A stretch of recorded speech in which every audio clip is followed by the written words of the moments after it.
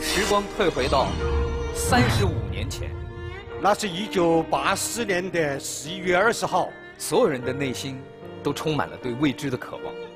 他参与我国首次南极科学考察队，也是我国首支南极越冬科考队队长严其德。当时海水温度大概是零下一度到一点二度，队友们不好啦！大海把我们码头冲垮了，快去抢救吧！手挽手的，就站在了码头的外围，并且用我们的血肉身躯组成一道人墙，挡住海浪。我什么也不想，就想建站。一九八五年二月二十号，那个在我们呃中国南极长征站，由用中国人自己的亲手，缓缓地把五星红旗升上南极上空。他亲历五星红旗第一次在南极升起。从那一天起，所有南极的国际事务没有中国这一票，你就别想通过。我们在非洲执行热带气旋国际救援任务的时候，我们将五星红旗在距离北京1.2万公里的非洲大地缓缓升起。请问严老还记得这里在哪里吗？他说：“如果我们去南极，只能带一件东西，您会带什么？”我们背后有强大的祖国，所以我们是值得的，我们无悔无怨。我和祖国的故事，本期演讲者严其德。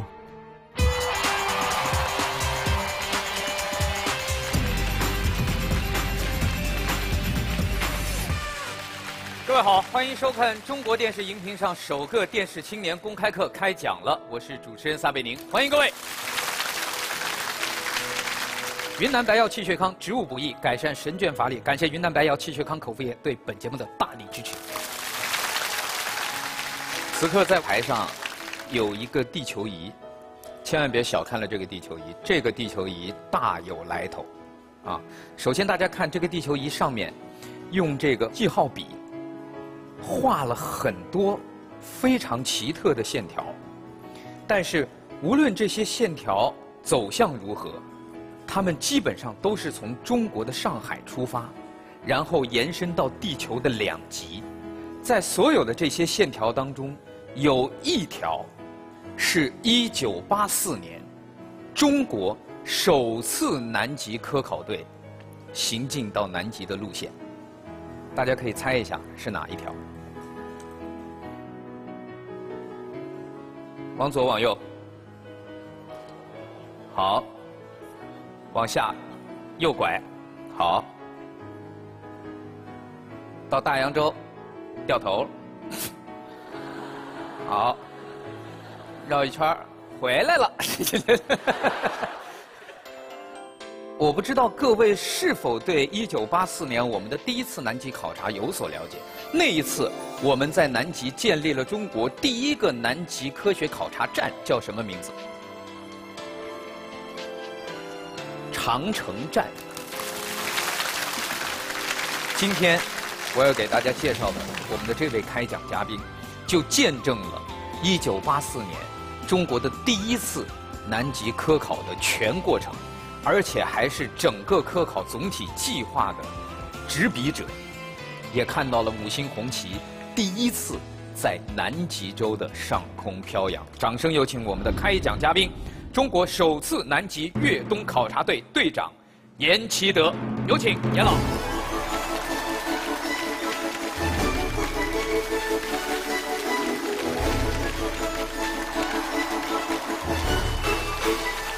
你好，严老。你好，小李。欢迎您，欢迎您，欢迎您。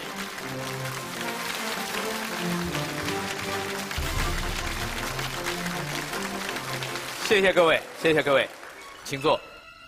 您今天穿的这个衣服，哎呦，还真的是非常有讲究。南极的象征都有了，企鹅，南极的主人，我们的雪龙号雪龙号也在这里，还有中国南极考察，所以我就特别穿这件衣服啊，把南极的象征都带给各位观众了。刚才我上来之后考大家的那个问题，您来给我们揭晓一下。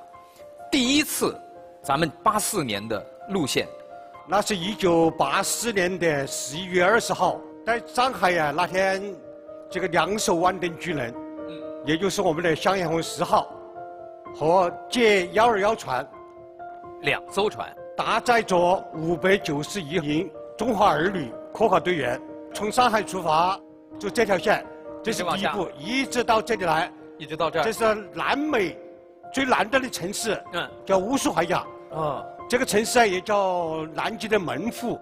那月二十四号离开乌斯怀亚，就通过那个南极的暴风区，哎，德雷克海峡，没花两天时间，穿过德雷克海峡，就到了这个乔治王岛，这就是当时这个航线。但我看到啊，这上面还有很多不同的去往南极的航线，这都是后来慢慢的我们的科考队伍又开发出来的新的航线，对吧？介绍一下个地球仪，伴随了我二十多年，见证了我们是挺进北冰洋，哦，这回往北了挺进，北洋往北。他一直跟着您。跟着我一直在北冰洋以后，建立了第一个浮冰站，就漂流站，嗯嗯也上不去，嗯，最后完成任务，又搭乘雪龙号后又回来。所以这个地球仪还真不是摆在咱们这个科学考察队员桌子上的工具，它是跟着您到处走的一个老朋友。这个地区有好多人呐，你当时首次北京考察完了以后啊，当时的雪龙船船长要收藏他说老领队，呃，送给我收藏，我说不行，这是老先生的宝贝儿，我要带回我的办公室去，等到我以后退休以后，会捐赠给我们国家的或者极地科研的博物馆。当时我都谢婉言的谢绝了他，不好意思。这绝对是一个博物馆收藏级的一个展品，因为在这上面不仅仅是几条简单的航线，在这上面其实凝聚的是中国的南极、北极的科考队员多少年来多少人的心血和努力。时光退回到三十五年前，一九八四年，那个时候的中国刚刚改革开放没多久，各方面的物质条件不像今天这么的优越，所以那个时候的我们的科考队员到底是在一个什么样的情形下，挺进南极，把五星红旗在南极上空升起？接下来我们就把讲台留给严老，有请您为我们开讲。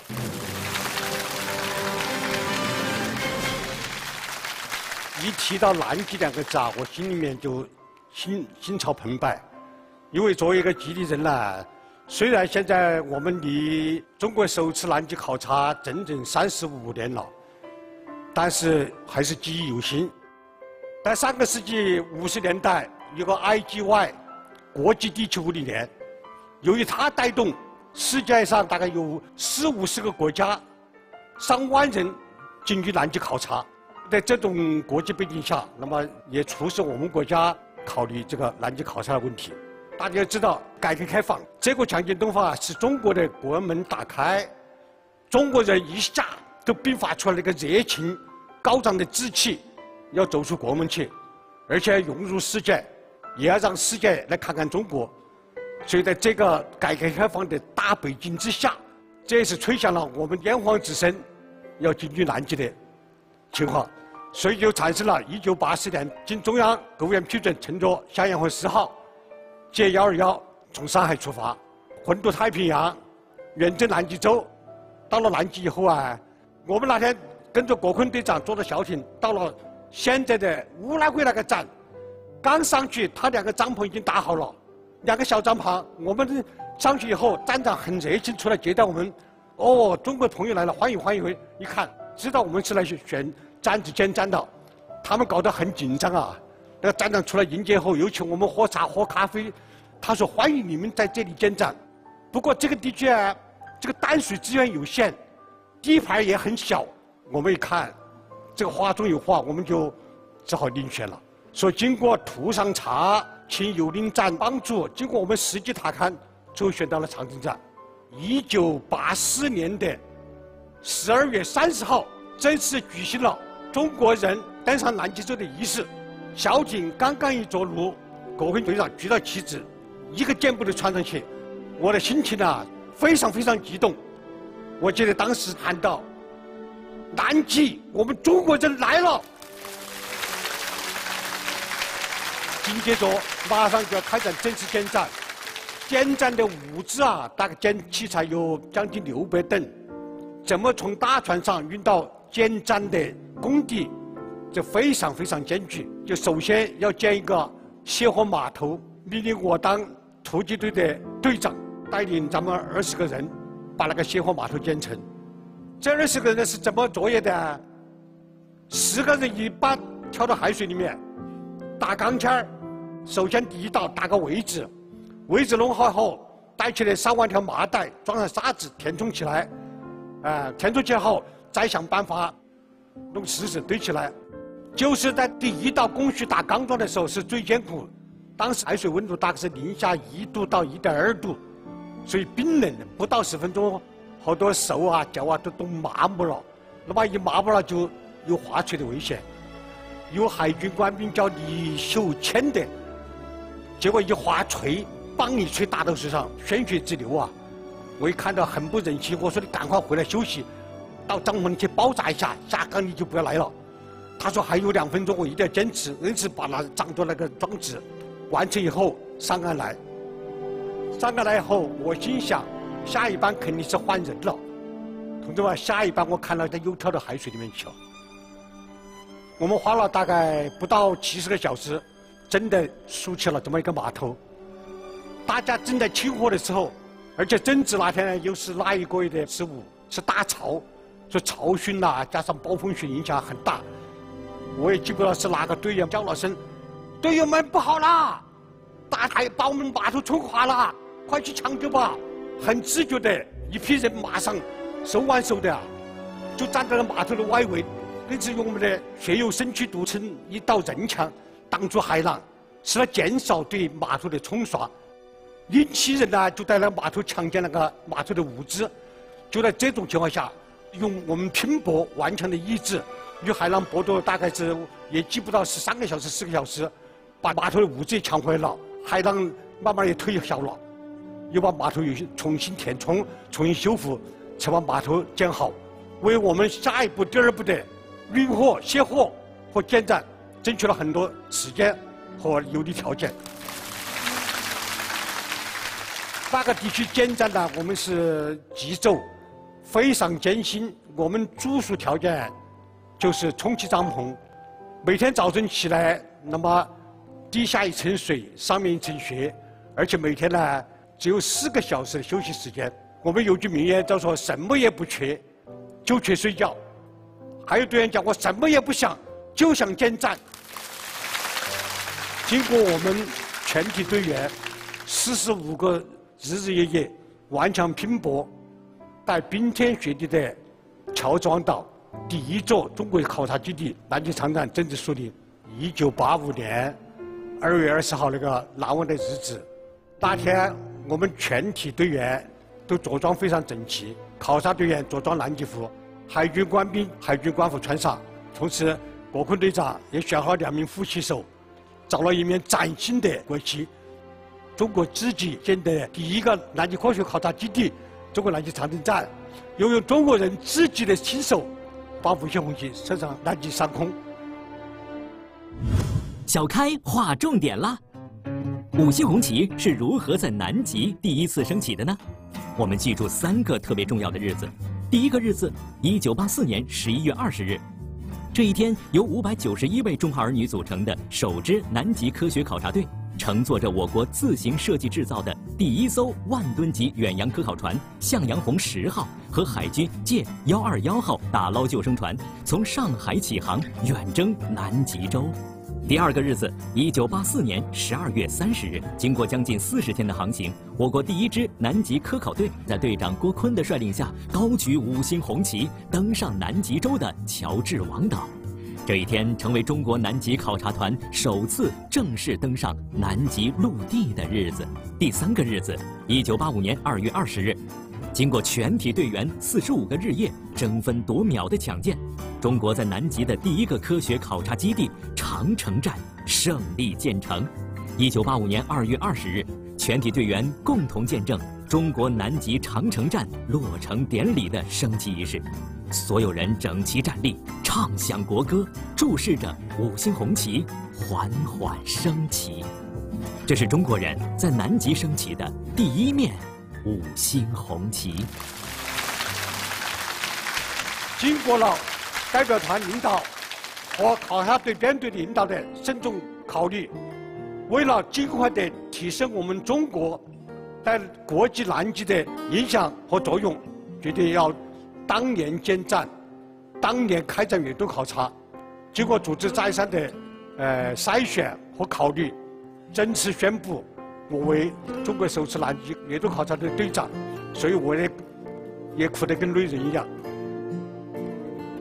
宣布阅动队以后啊，实际当年还欠缺好几个条件，但是从那个度假站要升为常年站，一般要经过两到三年的完善更新检查以后，才能去住人。所以当年建站、当年科考、当年越冬，这在南极一百年史上还是创世界纪录的。所以我们八个弟兄啊，坚守下来，留到新建成的长城站。我觉得最严考虑的是七月份，我们有二十六天遇到十一级以上的暴风雪。那一周啊，我们八个队员根本就没办法出去，那个防护架空的都颤抖得很厉害。就队员们都挤到一起说：“队长啊，咱们怎么办？”我说：“不办，我坚定不要怕，只要我们人在，长城站一定在。”暴风雨之后，马上用开水把门浇开、顶开，铁杆子刚开，出来后清理战场。首先要把发电机恢复起来，气象设备刮坏了要修复，还在坚持气象考察、通讯试验。就在这时候，接到了。从智利站，因为我们跟北京已经沟通不了了，靠智利站站长哈尔曼海军上校给我们送来了祖国亲人的慰问信，还有些必要的蔬菜，大萝卜、白菜、土豆。紧接着苏联站站长、气象学家也过来看我们了，说：“中国弟兄，你们有没有人受伤？有没有需要我们帮助的？南极国际兄弟情啊，都显示出来了。”我非常感谢，把他们就送走了。哦，迫不及待的，八个队员赶快坐到厅里面，打开慰问电、慰问信，大家热泪盈眶啊！就在暴风雪那么猛烈十二级以上，要把我们连房子都卷走的时候，年轻同志没有滴一滴眼泪，唯独接到祖国亲人慰问信，看妹妹的读的时候，心情一动，眼泪真的就流出来了。所以我想，男儿有泪不轻弹。男儿有情的时候也要谈了，我们背后有强大的祖国，所以我们是值得的，我们无悔无怨。所以暴风雨之后，长城站的第一个国庆节，也是中国在海外南极的第一个国庆，快到来了，一定要很好的过好这个国庆节。那天我们八个队员经过了大概一个星期，真正的把长城打扮得漂漂亮亮的。那天因为我们邀请了。所有这个乔治王德的五六个国家的队员都来参加我们国庆节，扶正礼品，给他们放了很多中国的功夫片，宣传我们中国文化。我们也牢记我们的五星红旗，一定要带我们长城站十一国节好好升起。每个队员自己要修边幅，把一年没刮的胡须全部要打整干净。好多队员可能比女士的头发还长，一定要把头发剪掉。把压了一年的箱底里面的西服领带，要拿翻箱倒柜拿出来，一定要着装整齐。因为当时我们条件比较简陋，只能有录像机放国歌。我这时候啊，第一次亲自在长征站，在我的手中缓缓的升上国旗，所以大家非常激动，非常高兴。但是这里有一点，我们猎动队的。十一国际的所有资料、照片，由于三十多年了多方的原因，现在基本上完全找不到，非常非常遗憾，又没办法补。但是，一九八八年国际的深刻印象一直在我心中，永远不会忘记。八十一国庆节咱们八个人过完以后啊，祖国人民交给我们的首次阅动任务已经接近尾声，我们也快回国了，也听到了振奋人心的国家的大好喜讯，就是经过了我们国家一九八五年二月二十号在冰天雪地的第一个长征站建成，有打破世界纪录的当年建站、当年开展阅动考察，所以中国在南极的。国际地位、影响和作用大大提升，当然还是与我们国家大背景改革开放、中国人走出国际、走向世界这个大背景分不开的。所以在一九八五年的第十三次南极条约国协商会议，中国在这个会上毫无争议的一举取得了对南极国际事务的协商国地位。从那一天起。所有南极的国际事务，没有中国这一票，你就别想通过。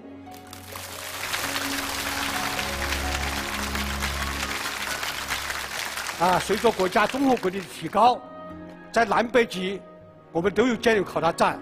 八九年中山站，二零零九年昆仑站，啊，二零一四年泰山站，现在正在实施的就罗斯海的新站。所以再过几年，我们中国人。在南极就有五个南极科学考察站，同时我们的北极现在有两个站，中国北极黄河站，还有中国和冰岛的联合考察站。我们仅用了三十五年时间，从无到有，从小到大，由大做强。今天中国在世界、在国际南极领域的作为大国地位，这是坚定不移的。但是我们还在跨越式发展。跻身今早成为极地强国，来实现我们伟大祖国的中国梦。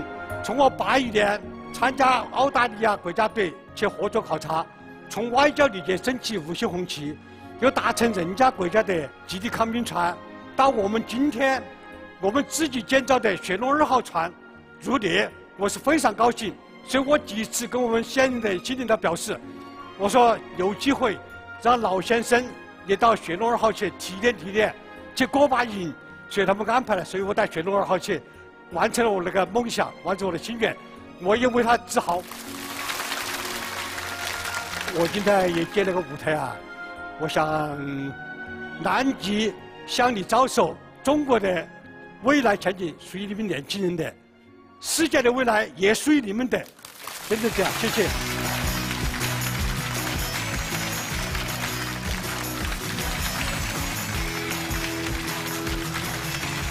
谢谢严老，谢谢小尚，谢谢你啊！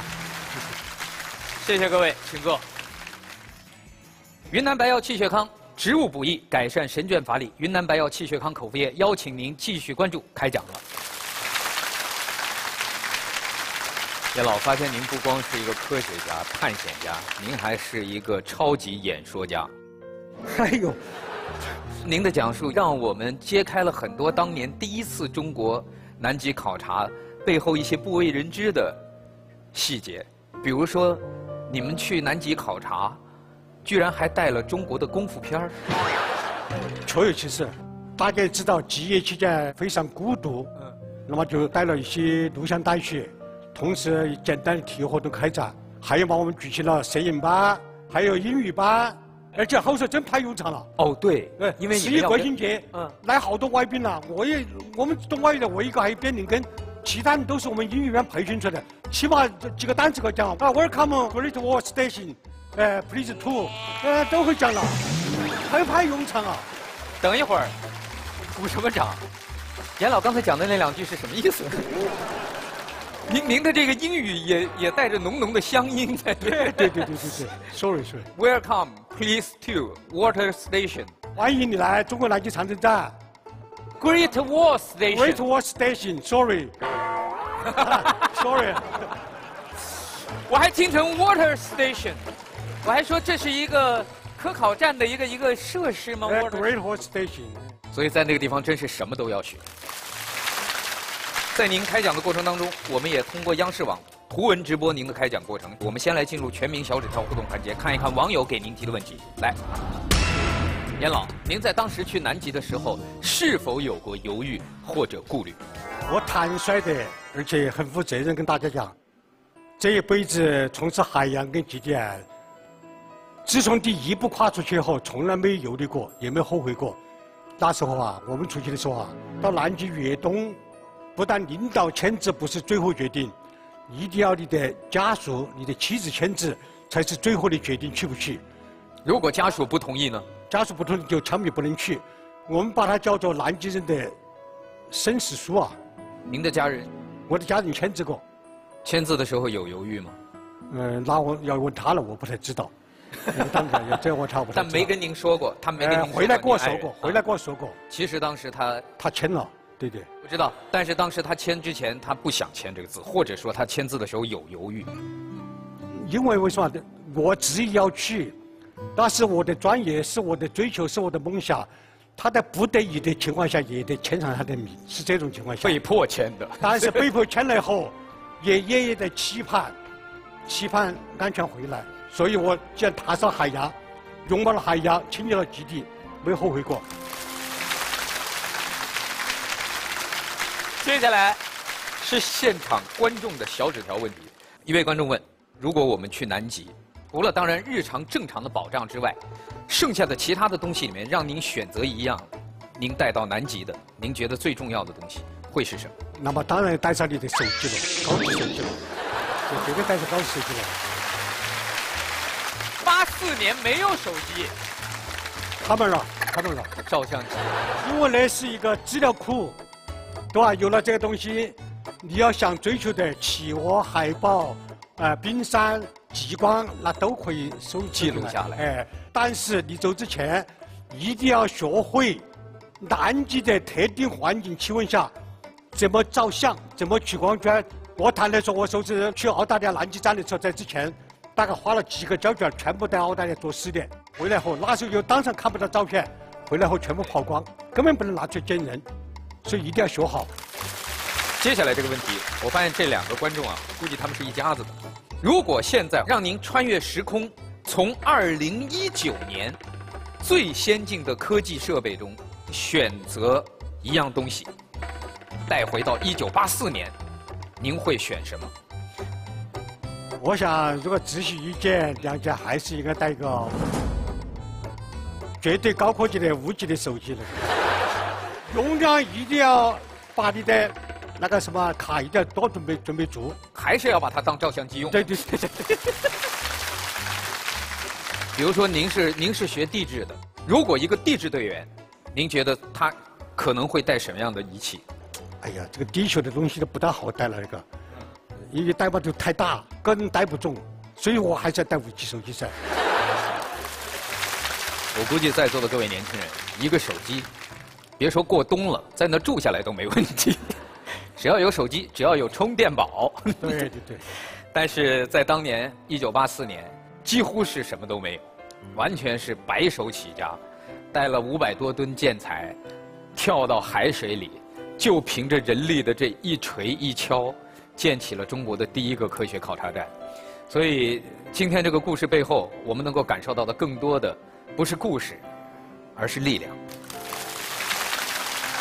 六位青年代表，各位有什么问题？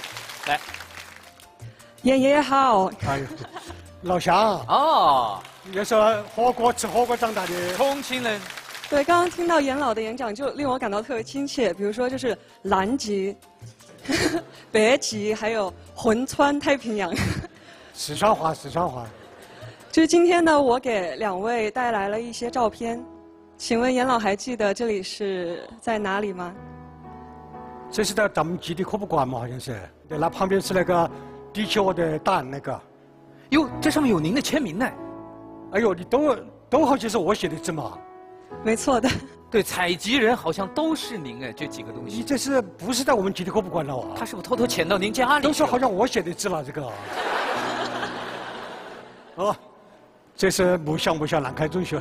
在二零一六年的时候，当时是，嗯，南开中学八十周年校庆，然后当时严老先生就为我们学校捐献了一个极地科考展览室，然后当时作为高一新生的我，就是也是第一次进去参观这个展览室。就其中给我印象最深刻的就是那一句“帝企鹅标本”了。之前我以为企鹅的毛就像人的毛那样是针状的，但是后来我才发现它是片状的，也是像叶子一样有非常清晰的纹路。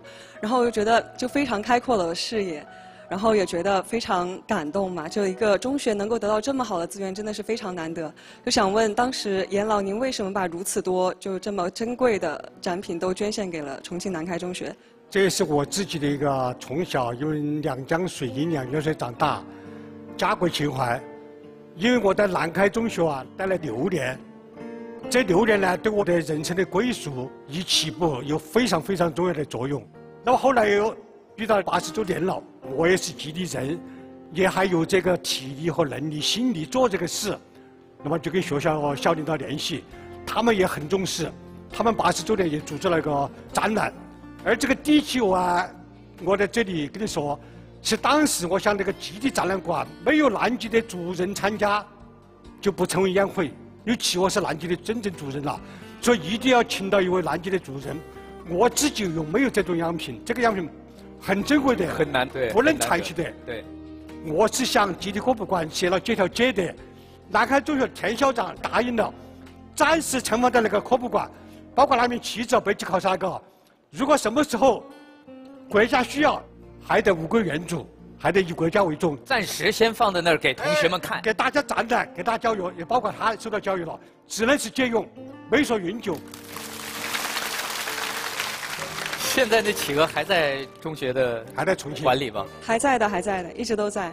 但是你们保护好，我跟那个讲了，它的毛啊容易有湿度大了，它容易掉毛，还要红要保证好，真的。再住几年，估计再要拿走的时候，企鹅说：“我不嘛，我想住的那个地方，重庆好嘛。”好的，好的，我回去嘱咐一下校长，帮您保管好。这个有些种我们科普馆都没有啊。对呀，科普馆批评我，林导演，你身为基地人，在基地中心那个，你怎么心想到重庆，想到南开？哎呀，真的批评我了。我说，哎呀，都是一样。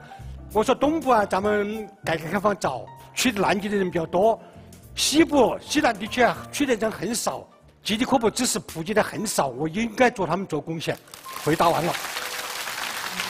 非常谢谢严老给我们上的这一课，谢谢谢谢。回去跟师弟师妹说，照顾好那只企鹅，别让它掉毛。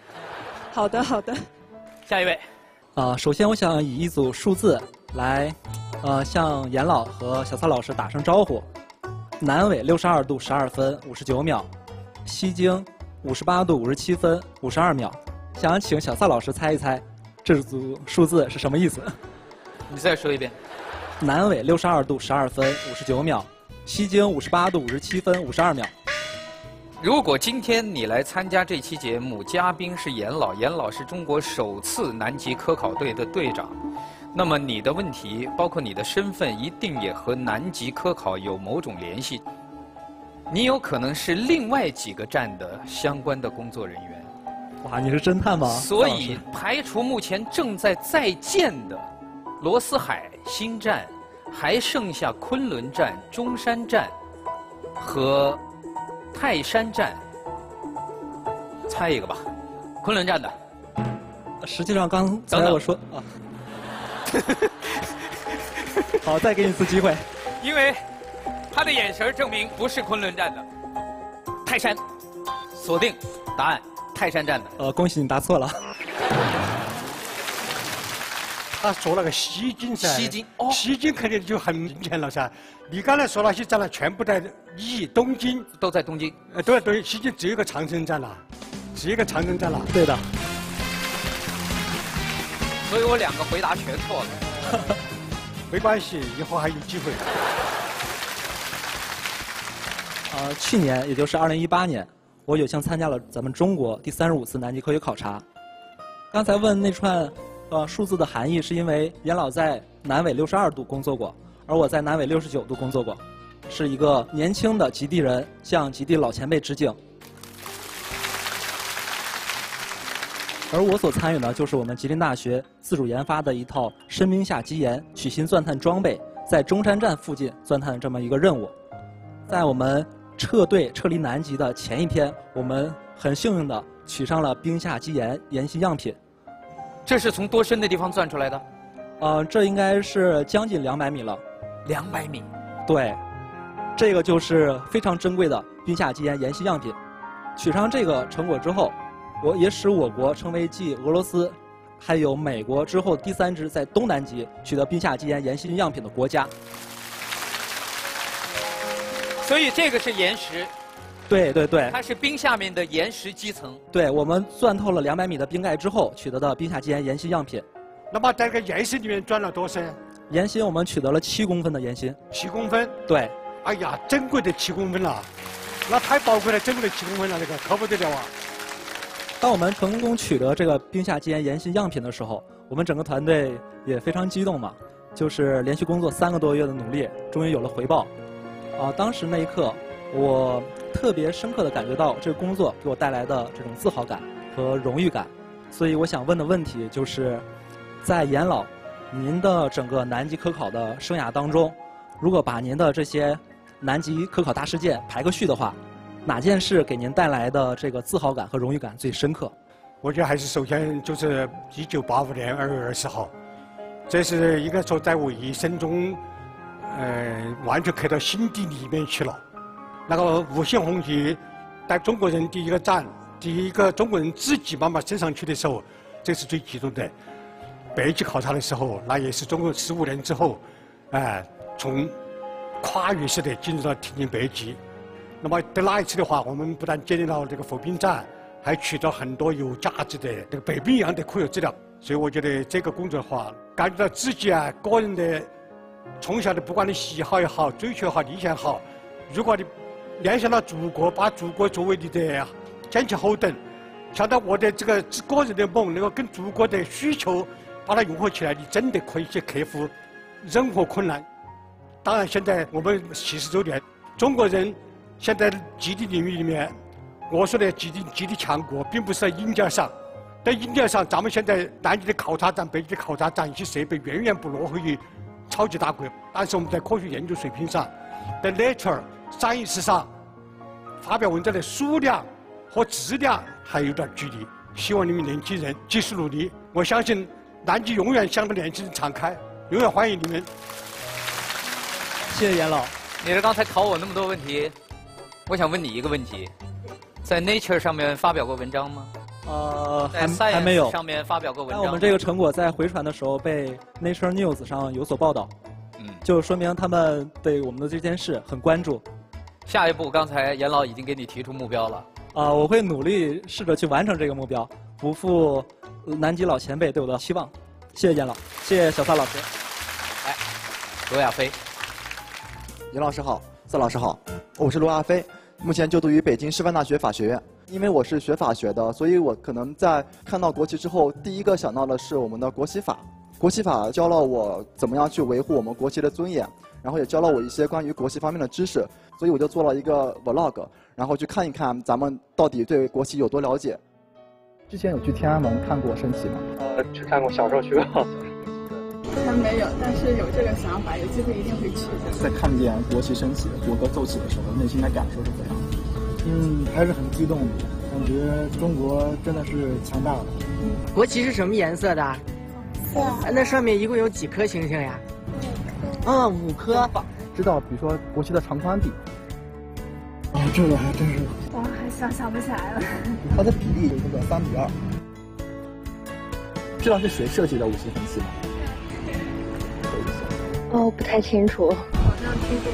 是曾连松老爷子。哦。可以简单请您换下过去吗？嗯，可以。你今年几岁啦？四岁。哦，四岁。过耶。哦。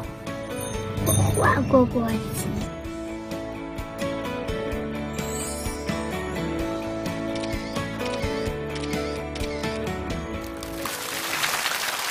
其中最让我感动的是那个四岁的小孩，他在四岁的时候，他妈妈就给他布置作业，说我们要画国旗。老师现在是八零后，老师有过这些经历之后，现在再看国旗，会有什么不一样的感觉吗？最有感觉或最有感受，或者是最激动的，还是在电视上看天安门升国旗，这是第一项。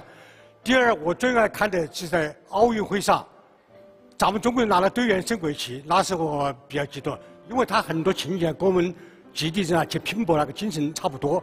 哪里升国旗奏国歌，我妹妹会跟我一九八五年二月二十号，甚至国庆节那个联系起来，所以很激动。这可能就是今天每一个中国人平时感受到的，在九百六十万平方公里的国土上，每天无数的地方，国旗在冉冉升起。但是正是因为这样的升旗仪式，这样的场景越来越多，融合在我们的生活里，你无时无刻。会感受到国旗在我们的身边飘扬。谢老师，下一位，严老您好，萨老师您好，我叫朱孝然，是一名中国国际救援队队员。刚才听严老给大家讲南极科考站、长城站第一次升起五星红旗的时候，对我呃心里有很大的触动，因为就在今年三月，我们在非洲执行热带气旋国际救援任务的时候。我们在我们的营区前举行了一个特殊的升旗仪式，我们用我们自己带的气动升降灯杆，缓缓地将五星红旗，在距离北京1.22万公里的非洲大地缓缓升起。这个就是我们当时升旗的一个场景。他们在非洲，当我们看到这面国旗的时候，就相当于我们的国家一样，一直在我们背后做我们坚强的后盾，给我们力量。你刚才有句话是我们共同的心愿。就心中都有我们的五星红旗，不但飘扬在祖国九百六十万平方公里大地上，五星红旗永远高高飘扬在冰雪大陆南极的上空和其他地方。当我们看到这面国旗的时候，我们每位队员心里更能确切地感到这次救援任务的重要性和严峻性。因为受热带气旋影响，当地好多那个霍乱跟疟疾疫情多发，卫生状况非常的糟糕。我们每位队员心里都有些紧张，心理压力也比较大。我们每天都要背负三十公斤的消毒机，身穿不透风的防护服，顶着高温，要为当地的学校、医院等公共场所进行消毒消杀。消完一个场所，我们大家基本就是浑身湿透了。我回国之后发的第一个朋友圈就是关于对生命的一个感悟。所以我想问严老，您的问题是：您走过那么大的一个世界。会不会让您重新领悟生命与生命的价值？本节目由金鸿魔法冰箱赞助播出，金鸿冰箱给你健康。说真心，我倒没去过多的考虑我的人生怎么样。一个人生的道路啊，呃，其实当时说漫长也漫长，说曲折也曲折。我觉得你自己从小就要有一个志向，第二个你一定要有知识，你要学本领，第三个你要学会一定的这个团队精神。